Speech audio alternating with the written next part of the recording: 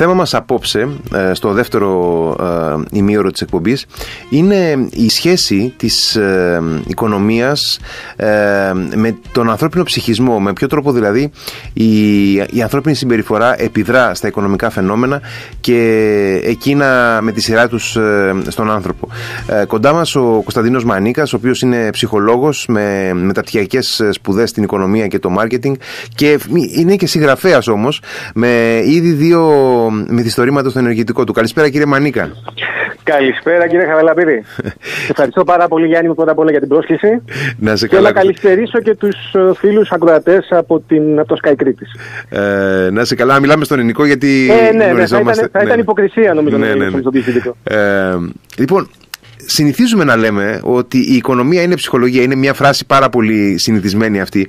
Αλλά ε, σημασία έχει νομίζω να δούμε σε ποιο βαθμό, αλλά κυρίως με ποιους τρόπους επιδρά το ένα στο άλλο. Έτσι, mm. γενικά, σαν πρώτο σχόλιο, τι θα έλεγες; Κοίταξε, νομίζω είναι ένας όρος ε, που ακούστηκε πάρα πολύ αυτόν τον αιώνα. Δηλαδή, νομίζω ότι ο 21ο αιώνας στα οικονομικά είναι ο, ο αιώνας της ε, behaviorική, περιφορικής οικονομίας, όπως λέμε.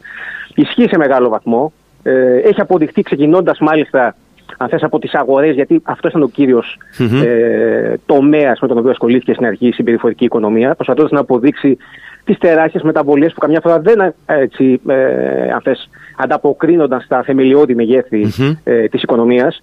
Ε, Ξεκινώντας λοιπόν από τα χρηματιστήρια και αργότερα και τις φούσκες που δημιουργήθηκαν και στην αγορά κινήτων, απέδειξε ότι όντως η ανθρώπινη συμπεριφορά δεν είναι αυτό που θεωρούσαμε στα μέχρι τότε μικροοικονομικά και μακροοικονομικά μοντέλα, ο χώμο οικονομικού που λέγαμε, δηλαδή το απόλυτα ένλογο που πάντα παίρνει τις πιο σωστές ε, για τον εαυτό του αποφάσεις αυτές που του δίνουν το μεγαλύτερο κέρδος, το μεγαλύτερο. Πάντα, ορθολογικ, πάντα ορθολογικά κλπ. Ναι, ναι. ναι, αυτό δεν ισχύει. Αποδείχθηκε λοιπόν ότι υπάρχουν μια σειρά από παράγοντες, τους οποίους μπορούμε να τους συζητήσουμε κάποιους από αυτούς, να μην το κάνουμε πολύ θεωρητικό, mm-hmm. οι οποίοι επηρεάζουν πάρα πολύ και τις αποφάσεις Καλά, στο χρηματιστήριο είναι προφανές, νομίζω, μπορούμε να πούμε δύο-τρεις από αυτές. Δηλαδή, για παράδειγμα, στην Ελλάδα αυτό που δημιουργήθηκε εκεί γύρω στο 2000, 2000 και κάτι, είχε να κάνει με αυτό που λέμε μια θεωρία της Αγέλη, όπου δημιουργήθηκε ένα κλίμα θετικό. Πίστεψαν όλοι ε, με μια ανεπάρκεια προφανώς γνώσης ότι θα μπορούσαν να πολλαπλασιάσουν τα κέρδη τους. Συνέχιζαν λοιπόν, χωρίς να έχουν ε, προσωπική γνώση και δυνατότητα να αναλύσουν κάποια δεδομένα, να επενδύουν σε κάτι το οποίο προφανώς δημιουργούσε έναν αέρα, ο οποίος και έσκασε. Όπως και αντίστοιχα έχει γίνει αυτό και με την φούσκα κινήτων στις ΗΠΑ και ε, ε,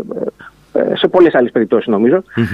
Ε, τώρα, αν θέλουμε να το δούμε σε επίπεδο προσωπικό, δηλαδή οι προσωπικές επιλογές που κάνουμε πλέον σε οικονομικό επίπεδο, ναι. ακόμη και στην καθημερινότητά μας. Ναι, γιατί ε, όλοι οι άνθρωποι είμαστε υποκείμενα οικονομικών αποφάσεων. Δηλαδή, από το πιο μικρό μέχρι ίσως και πιο σημαντικό πράγμα που θα επενδύσουμε τα χρήματά μας, αλλά και από το πιο απλό, ποιο προϊόν θα αγοράσουμε κάθε μέρα. Ε, παίρνουμε καθημερινά κάποιες αποφάσεις και με αυτές τις αποφάσεις που λαμβάνουμε, ε, αναρωτιέμαι, αναρωτιέται ίσως εύλογα κανείς, είναι δυνατόν να επηρεάσουμε την εξέλιξη φαινομένων που έχουν κοινωνική βάση, που είναι απρόσωπα. Ε, και όμως συμβαίνει. Ναι, προφανώς και συμβαίνει. Κοίταξε να δει. Ε, προφανώς ο άνθρωπος είναι και ένα σύλλογο ενστίκτων και πολύ βασικών ενστίκτων. Τα οποία όση πληροφορία και αν του δώσεις, πολλές φορές λειτουργούν πάνω από την όποια πληροφορία. Δηλαδή, ε, θα το πούμε και μετά, γιατί άκουγα και αυτά πολύ για τη Φιλανδία και τη Ρωσία που εξηγούν κάποια πράγματα, θες και σε επίπεδο κρατών, αλλά σε προσωπικό επίπεδο, για παράδειγμα, ο καταναλωτής. Α πάρουμε την περίοδο της κρίσης, να πούμε κάτι για την περίοδο αυτό που ζούσαμε τα τελευταία, mm-hmm. ενώ της υγειονομικής κρίσης, να μην πάμε στο πιο πριν. Την περίοδο της πανδημίας, ναι, ναι. Ναι, ναι. Την περίοδο της πανδημίας, λοιπόν, ε, στην αρχή είδαμε ότι υπήρχε μια έκρηξη κατανάλωσης. Ακόμη και για τα βιβλία που είπες, και σε ευχαριστώ πάρα πολύ που αναφέρθηκε στα, στα, βιβλία μου, ε, υπήρξε στην αρχή μια αύξηση στην τάση των ανθρώπων να αγοράζουν βιβλία, να διαβάζουν και γενικότερα υπήρξε μια αύξηση στην κατανάλωση. Το είδαμε αυτό. Προφανώς είχε να κάνει με την ανάγκη των ανθρώπων, εφόσον δεν είχαν τη δυνατότητα μιας κοινωνικής ζωής, να καταναλώσουν περισσότερο, να αισθανθούν ότι με κάποιο τρόπο ξέρεις, ε, εξάγεται από μέσα εκτονώνεται αυτή η αίσθηση ε, καταπίεσης και περιορισμού mm-hmm. κάποιων δράσεων. Mm-hmm. Στην πορεία όμως αυτό ήταν οικονομικά ήθελε να αποδειχθεί μέσω της αύξησης της ανεργίας, μέσω της, ε, ε, των μισθών που μειώθηκαν κάποιες φορές, κάποιων επιχειρήσεων που αναγκαστήκαν να κλειστούν για υγειονομικούς λόγους κτλ. Ε, ήρθες αντιμέτωπο στην πραγματικότητα. Οπότε αναγκάζεσαι πάλι να αναπροσαρμόζει κάποιες ε, επιλογές σου. Το θέλω να καταλήξω δηλαδή ότι ε, υπάρχουν συγκεκριμένοι ψυχολογικοί παράγοντες που έχουν να κάνουν μια σειρά από πράγματα που προφανώς επηρεάζουν τις τελικές σου αποφάσεις. Όχι πάντα ορθολογικά. Δηλαδή, όπως είπαμε πριν για τη θεωρία της Αγέλης. Για παράδειγμα, ε, κάνουμε μια επιλεκτική ανάγνωση με των δεδομένων mm. με βάση πράγματα που μπορούμε να έχουμε κάνει στο παρελθόν και θεωρούμε ότι έχουν πετύχει. Ακόμη και αν έχουν αλλάξει τα δεδομένα, ακόμη και αν οι συνθήκες είναι εντελώς διαφορετικές, πολλές φορές συνεχίζουμε να επιμένουμε σε αυτό που θεωρούμε, ας το πούμε έτσι, το σίγουρο χαρτί. Και τι, τίνουμε, τίνουμε να διαβάζουμε εντός εισαγωγικών την πραγματικότητα με τρόπο που έχουμε ήδη προαποφασίσει ότι μας αρέσει. Ακριβώς, ακριβώς, ακριβώς, ακριβώς αυτό. Ε, υπάρχει δηλαδή ε, να πούμε έτσι ένα όρο ο οποίος χρησιμοποιείται πολύ συχνά, αυτό το cognitive dissonance που λέμε, δηλαδή η γνωστική ασυμφωνία, ότι όταν έχουμε ας πούμε, δύο γεγονότα μεταξύ τους τα οποία συγκρούνται το ένα με το άλλο, ε, συνήθως μπορεί να μην επιλέγουμε και τίποτα από τα δύο, τέλος να επιλέγουμε αυτό που θεωρούμε ότι θεωρητικά μας κάνει το μεγαλύτερο καλό, και ας μην το κάνει. Δηλαδή είναι και μια διάθεση του άλλου να, να πολεμήσει το φόβο του, να πολεμήσει το άγνωστο, να πολεμήσει την αλλαγή, η οποία πάντα φέρνει αυτό που λέμε το resistance to change που λέει ο Γιώργο Διαρκό, δηλαδή την αντίδραση σε κάτι που αλλάζει και δεν μπορείς να το διαχειριστείς. Χρησιμοποίησες τον όρο φόβος. Και νομίζω ότι ο φόβος ως ε, συνέστημα αλλά ε, και ευρύτερα ως μια, γιατί καμιά φορά παίρνει και τη, μια κοινωνική διάσταση ο φόβος παίζει πολύ σημαντικό ρόλο στην οικονομική συμπεριφορά. Ναι βεβαίως. εννοείται γιατί κοίταξε είναι ένα βασικό ανθρώπινο συνέστημα από τα πολλά. Η έννοια δηλαδή της ασφάλειας και ενώ και της προσωπικής ασφάλειας, δεν εννοώ τη τάξη σε μια κοινωνία, και αυτό παίζει το ρόλο. Αλλά η έννοια της προσωπικής ασφάλειας είναι νομίζω από τους βασικούς ανθρώπινους παράγοντες. Από τα πρώτα πράγματα τα οποία αναζητούμε στη ζωή μας είναι η διασφάλιση αυτής της ασφάλειας. Mm-hmm. Όταν λοιπόν δημιουργούνται συνθήκες οι οποίες σε φέρνουν σε μια κατάσταση ε, αφοβική, αυτό πούμε, δηλαδή σε αντιμέτωπο με το φόβο σου, δεν είναι εύκολο εάν όντως αυτό το πράγμα μόνος σου δεν το έχεις δουλέψει κάποιο ή δεν έχεις βρει τους τρόπους να μπορέσεις να αντεπεξέλθει απέναντι σε αυτό, να κάνεις τι κατάλληλες επιλογές. Δηλαδή, να πω το έτσι δύο μικροπαραδείγματα, ας πούμε. Τώρα, να πούμε για τον πληθωρισμό mm-hmm. που υπάρχει αυτή τη στιγμή. Ε, Προφανώς υπάρχει φόβος πολλές φορές, ξέρεις, και είναι πολύ λογικό, οι τιμέ αυξάνονται απότομα κτλ. Υπάρχει, ας πούμε, ένας όρος που λέμε καμιά φορά έτσι, στα, στην περιφερική οικονομία, η νομισματική πλάνη που δημιουργούμε, που δεν έχουμε τη συνέστηση ότι ακόμα και αν μπορεί να έχουμε κάποια περισσότερα χρήματα επειδή παίρνουμε μια αύξηση, ο πληθωρισμό λίγο λίγο τα τρώει. Αλλά δεν σου δίνει τη δυνατότητα να κάνεις παραπάνω πράγματα. Θα πρέπει να έχεις μια εγκράτεια σε αυτό που νομίζω ότι δημιουργείται, που είναι μια πλάνη και δεν είναι μια πραγματικότητα, ας πούμε, για παράδειγμα. Ναι, ναι, ναι, ναι. ναι. ναι. Ε, και ε, επίσης ήθελα να, να επιστρέψω σε κάτι το οποίο ανέφερε στην αρχή ε, mm. μιλώντας για τη, τα πρώτα στάδια της κρίσης. Ε, και ε, μου ήρθε στο μυαλό η περίπτωση που ξαφνικά μέσα σε μερικούς μήνες η Ελλάδα έγινε ένα αναξιόχρεο κράτος. Δηλαδή στην πραγματικότητα κανείς δεν ήθελε να της δανείσει χρήματα και απέκτησε ένα, ένα άμεσο πρόβλημα να συντηρεί το χρέος της. Ε, έτσι ουσιαστικά η Ελλάδα ε, διολύστε, στην κρίση το 2010, έτσι ε, πήγαμε στα μνημόνια κλπ. Ε, και έρχονται κάποιοι και, και βλέποντας ας πούμε τους, τους βασικούς οικονομικούς δείκτες και βλέποντας ε, το ποσοστό χρέους σε σχέση με το ΑΕΠ της χώρας κλπ. Mm-hmm. λένε ότι μα είναι δυνατόν σήμερα, ας πούμε, δεν έχουμε ε, λιγότερο ποσοστιαία χρέος από τότε. Παρ' όλα αυτά, σήμερα η Ελλάδα είναι μια χώρα που καταφέρνει και δανείζεται με αξιοπρεπείς όρους στις διεθνείς αγορές, ενώ τότε δεν μπορούσε να το κάνει αυτό και ε, ή φέρνουν παραδείγματα άλλων χωρών αντίστοιχα. Και ε, σκεφτόμουν πραγματικά πώς είναι δυνατόν ας πούμε η μαζική ψυχολογία σε επίπεδο χρηματαγορών πια και μιλάμε για χώρες, για, για κρατικά ομόλογα να οδηγήσει μια, μια χώρα, ένα κράτος όπως ήταν η Ελλάδα ε, που δεν είναι η μοναδική περίπτωση βέβαια αλλά ήταν μια χαρακτηριστική περίπτωση ξαφνικά μέσα σε ένα... Ήταν η μοναδική περίπτωση στην Ευρώπη αυτό ήταν το κακό. Mm-hmm, ναι. Ή τουλάχιστον ήταν η αρχή της Ευρώπης. Μέσα σε ένα εξάμεινο, οχτάμινο ξαφνικά ε, να, mm-hmm, να γίνει mm-hmm. ένας ε, οικονομικός παρείας. Ισχύει. Λοιπόν, ε, Καταρχάς θα ξεκινήσω από το τελευταίο που είπες. Αυτό και το ακούω και εγώ διαρκώς είναι από αυτές τις ωραίες διαδικτυακές, αν λίγο social media πλάνες που κυκλοφορούν. Ναι, ναι, γιατί, ναι, είχαμε, γιατί είχαμε 150% χρέος ή 120% ξέρω, το 2009 και συνεχίζαμε να δανειζόμαστε και γιατί τώρα έχουμε 200% και μπορούμε. Κατανοώ αυτό που είπα και πριν, ότι την ανεπάρκεια γνώσης που υπάρχει σε κάποιους. Δεν κατανοώ το γεγονός ότι κάποιοι την εκμεταλλεύονται δημιουργώντας ψευδείς εντυπώσεις για να δικαιολογήσουν τα πράγματα που δεν δικαιολογούνται. Mm-hmm. Αυτό εξηγείται πάρα πολύ απλά γιατί το 2009, καλός κακός, ήσουν μια χώρα η οποία πήγαινε για την ψήφια και αρκετά ψήφια ελλείμματα. Όλοι κατανοούσαν ότι την επόμενη χρονιά δεν θα μπορούσες να έχεις τις δυνατότητες να ανταπεξέλθεις οικονομικά. Θα θεωρούσαν παραπάνω δανεισμό. Και αν εγώ, ο ήδη πολύ δανεισμένος, βγαίνω και ζητάω κι άλλο δανεισμό, κάποια στιγμή θα σου πούνε δεν μπορείς να δανειστείς άλλο. Διότι κατανοούμε ότι δεν θα μπορείς ετήσια να μπορείς να δεις τα χρήματα να ανταπεξέλθεις. Ακριβώς. Άρα η μαγική Σήμερα, λέξη εκεί είναι το έλλειμμα.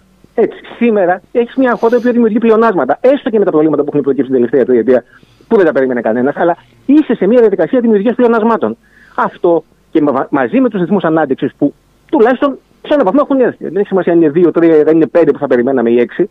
Δημιουργούν λοιπόν την αίσθηση ότι είσαι μια χώρα η οποία δημιουργείς παραπάνω εισόδημα, αλλά με καλύτερη δυνατότητα να αποπληρώσει τα χρέη σου και κυρίως έχεις μια δημοσιονομική σταθερότητα που δεν σου δημιουργεί νέα, κενά, νέα δημοσιονομικά κενά και να χρειάζεσαι παραπάνω δανεισμό. Είναι τόσο απλό και από εδώ πραγματικά γιατί το αναπαράγουν όλο αυτό. Ε, ε, νομίζω ότι το αναπαράγουν πάρα πολύ εύστοχα, όπως είπες, ε, προκειμένου να δημιουργούν εντυπώσεις.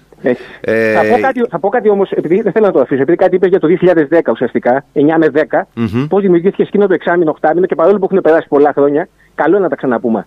Ήταν όντως ε, ένα τεράστιο ε, λάθος στρατηγικό της Ελλάδας, της Ελλάδας πλέον, αυτές οι δηλώσεις που γινόντουσαν στα τέλη του 9 από τον τότε πρωθυπουργό, τον Γιώργο Παπανδρέου, για ένα καράβι το οποίο βουλιάζει, για μια χώρα διαφθαρμένη και αναξιόπιστη. Όταν εσύ ο ίδιος παραδέχεσαι ότι αυτό που έχεις στα χέρια σου ε, είναι ένα προβληματικό καράβι, mm-hmm. το οποίο πάει να βουλιάξει, mm-hmm. είναι προφανές ότι πέρα από την όποια δημοσιονομική, από το όποιο δημοσιονομικό πρόβλημα και την χρηματοδοτική αυτή δυσκολία που υπήρχε από τις αγορές τότε, κανείς δεν θα πιστέψει ότι εσύ μπορείς από τη στιγμή που δεν εξαγγείλει και ένα πλάνο άμεσο για το πώ όλα αυτά θα το γυρίσεις σε μια πιο φυσιολογική ρότα. Είναι προφανές ότι ψυχολογικά, όπως λέγανε πριν, όλοι θα θεωρήσουν ότι είναι μια χαμένη υπόθεση Ακριβώς. και θα πρέπει να τους αποβάλουμε μια ώρα αρχίτερα από την αγορά, ακόμη και από τον πυρήνα, όπως θεωρούσαν πολλοί τότε της Ευρωπαϊκής Ένωσης και της Ευρωζώνης. Ακριβώς, γιατί ε, όντως εκεί είναι ένα, ένα, κλασικό παράδειγμα που λειτουργεί ε, η προκατάληψη, αν θέλουμε. Δηλαδή, όταν, ε, είναι αυτό που λέμε πάρα πολύ λαϊκά, ότι αν δεν μπενέψει στο σπίτι σου, έτσι. θα πέσει να σε πλακώσει. και έπεσε έτσι, και μας πλάκωσε, δηλαδή.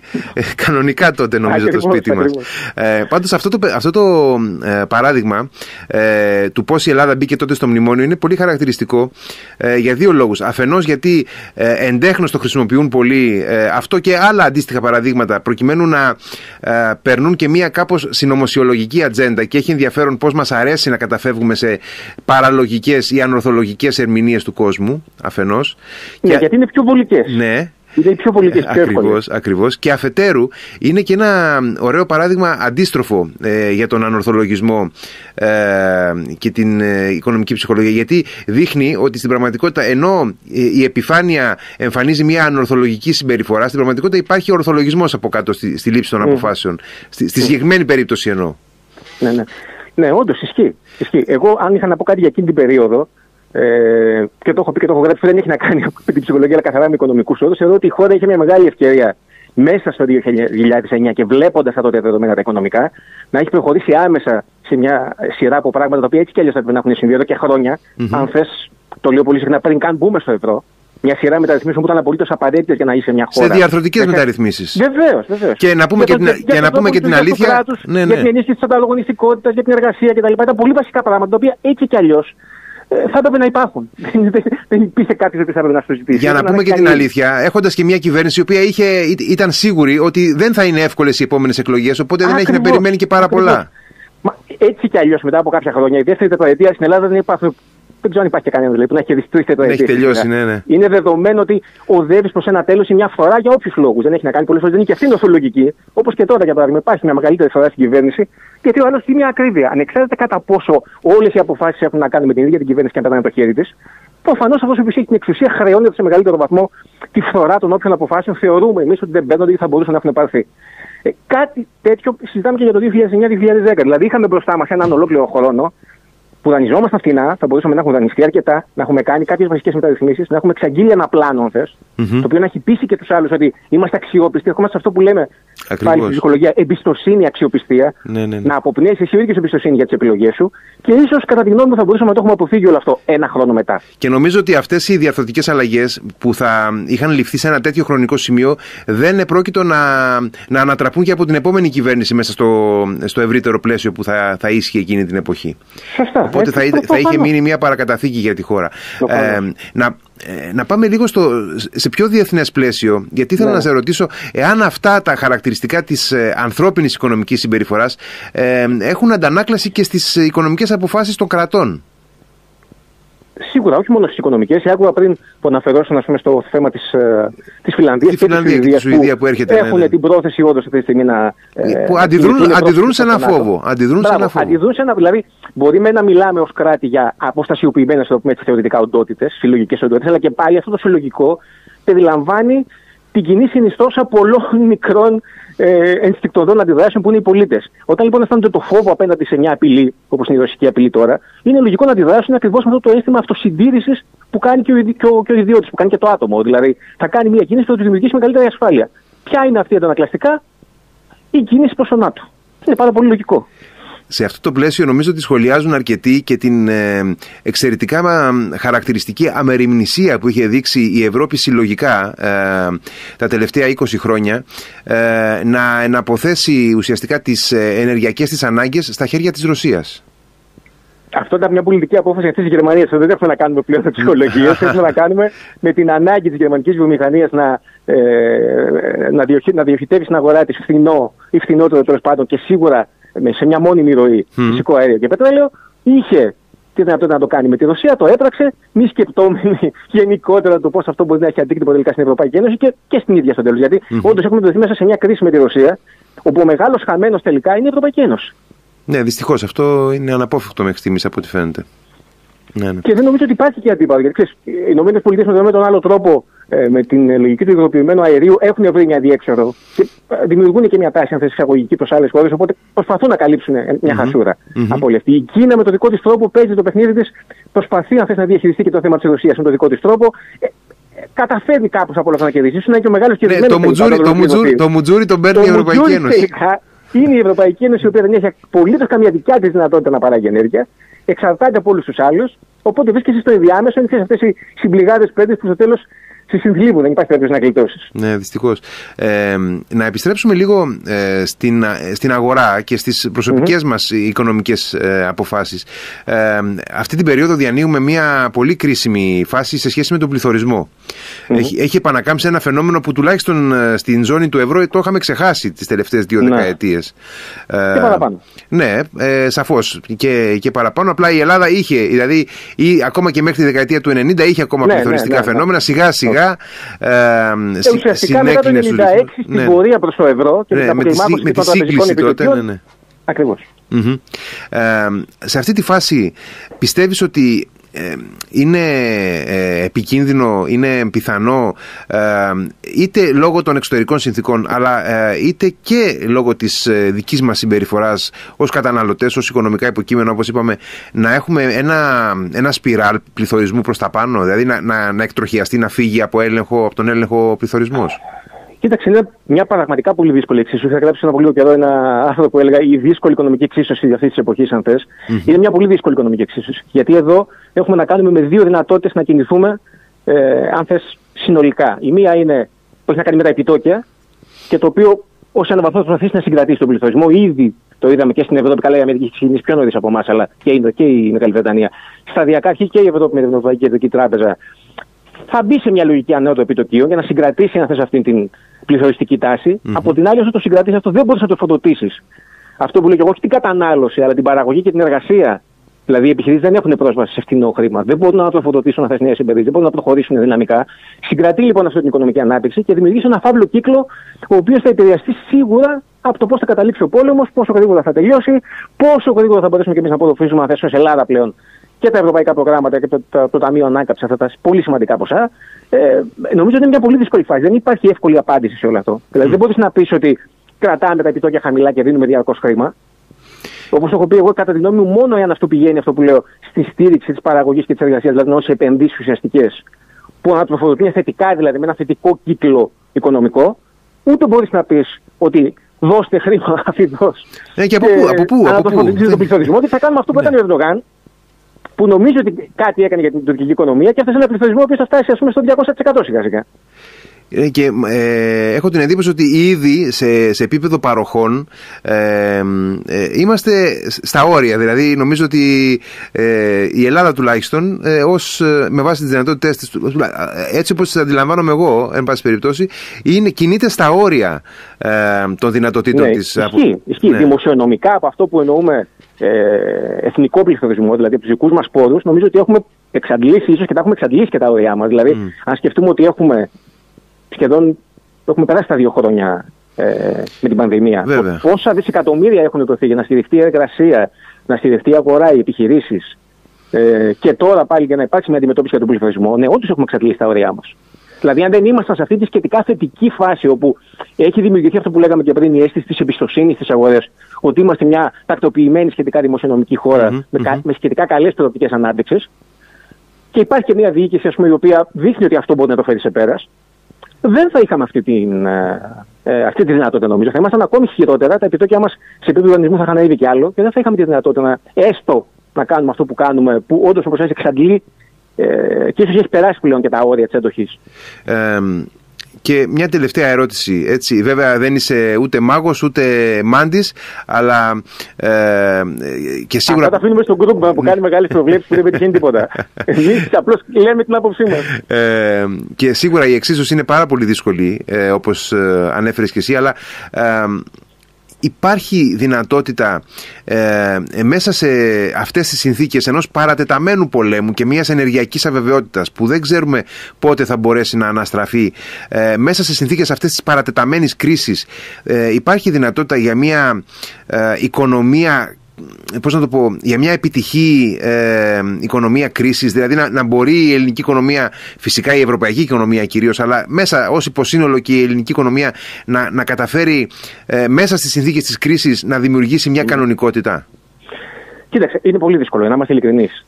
Ε, το θετικό σε όλο αυτό, όπως είπαμε και πριν, όντως, επειδή η εξάρτηση της Ευρώπης από το ενεργειακά από τη Ρωσία και γενικώς από παράγοντες εξωγενείς είναι πάρα πολύ σημαντική, που σημαίνει ότι να αφήνει βήματα πίσω, δεν έχει δηλαδή δικές της λύσεις να φέρει μπροστά.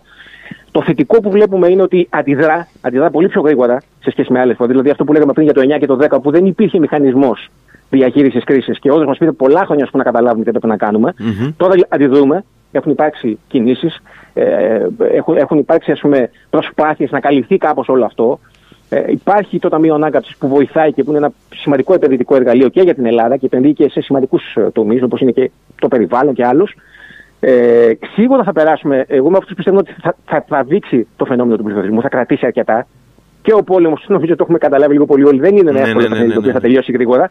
Θα τραβήξει αρκετά. Μακάρι να τελειώσει εντός του χρόνου. Νομίζω θα είμαστε όλοι ευτυχισμένοι αν έχει τελειώσει εντός Έτσι, του 2022. έτσι ακριβώς, έτσι ακριβώς. Ε, δεν είμαι σίγουρος, ούτε γι' αυτό να σου πω την αμαρτία μου, Μμμ. με αυτά που βλέπω Παρομοίως. και τις προθέσεις του Πούτιν. Ε, ε, Εμείς αυτό που μπορούμε να κάνουμε, πιστεύω, είναι να, σ- τουλάχιστον να σταθεροποιηθούμε ως μια οικονομία που κινείται σταθερά ανωδικά. Δηλαδή, δεν έχει σημασία αν δεν μπορούμε να πιάσουμε το 4-5%, να είμαστε στο 2-3%, να αξιοποιήσουμε με τον καλύτερο δυνατό τρόπο ε, το Ταμείο Ανάκαμψης που είναι σημαντικά χρήματα και που δημιουργούν αυτές και πολλαπλασιαστικά ωφέλη, γιατί επενδύουν σε τομείς που βοηθάνε και την ευρύτερη παραγωγή. Δηλαδή, όταν μια επιχείρηση κατορθώνει ας πούμε, να εξελιχθεί ενεργειακά, άρα μειώνει το κόστος της, άρα θεωρητικά μπορεί να συγκρατήσει και ένα κομμάτι του πληθωριστικού κόστους που έχει.